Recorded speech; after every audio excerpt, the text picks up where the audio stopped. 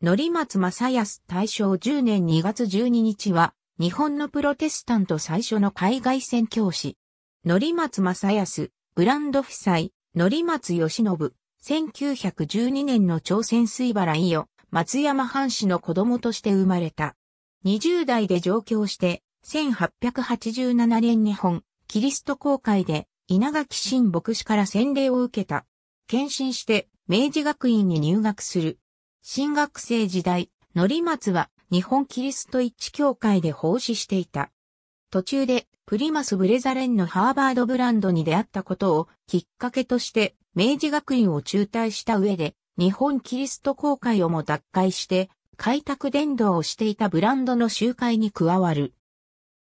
それが後のキリスト同心会である。後に大阪、紀州、江川、北越、新州で伝道した。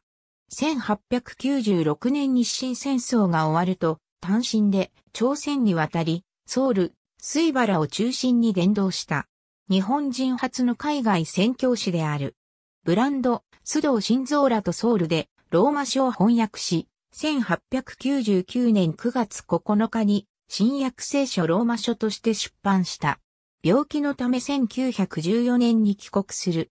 1921年に57歳で死去するが、遺言により白洋石の創設者、五十嵐健治らが朝鮮に遺骨を運んだ。現在も韓国に、則松の記念碑がある。これは、破壊されずに残った唯一の日本人の記念碑である。生きるも、主のため、死ぬのも、主のためと書かれている。建築家の王のみゆきの父方の祖母の叔父、